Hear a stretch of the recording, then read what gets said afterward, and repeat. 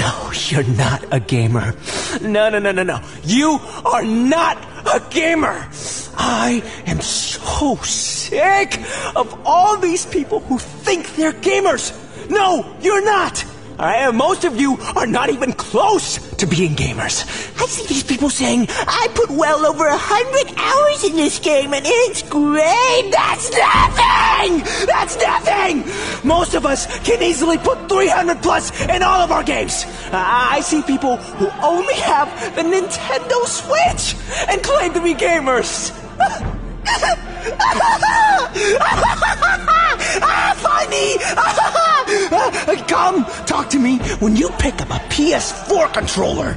Then we'll be friends. Also, dear women, Pokemon is not a real game.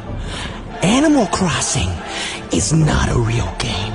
The Sims is not a real game.